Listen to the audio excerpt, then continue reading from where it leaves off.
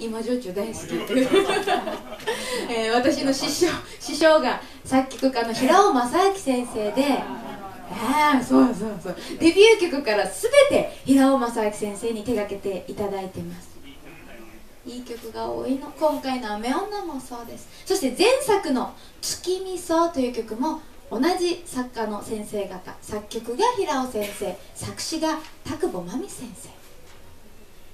書いていただいた曲で